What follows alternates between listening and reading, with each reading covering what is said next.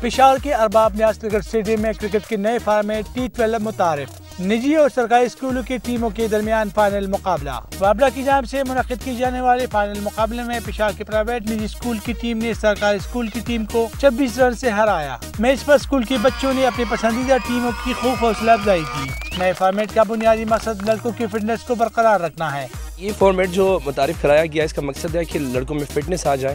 اور جو مس فیلڈنگ ہے یا مطلب کی فیلڈنگ کمزور ہے وہ ہماری اسٹرانگ ہو فیلڈر کو لیے پورے پورا موقع ملے۔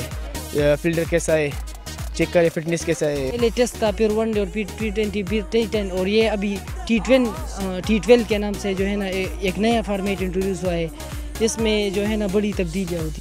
فائنل مقابلے کے مہمان خصوصی پیسکو کے ڈائریکٹر جنرل ایچ آر نے کھلاڑیوں میں انعامات تقسیم کیے۔ انہوں نے کھیلوں کی فروغ میں وارڈا کی کاوشوں کو سراہا۔ آل اوور دا کنٹری ہر جگہ پر ان کی پارٹیسپیشن ہے۔ سپورٹس میں بھی جتنی بھی آپ سٹیجز کہہ لیں، ایک سٹیج یہ بھی ہے کہ نئے بچے گروم کرنے۔ ایک سٹیج یہ ہے کہ پھر ان کو آگے لے کے جانا۔ ہے ایک سٹیج یہ ہے کہ پھر نیشنل لیول میں کھیلتے ہیں۔ تو اس سلسلہ ہمارا ہے اور جاری رہتا ہے، انشاءاللہ جاری رہے گا۔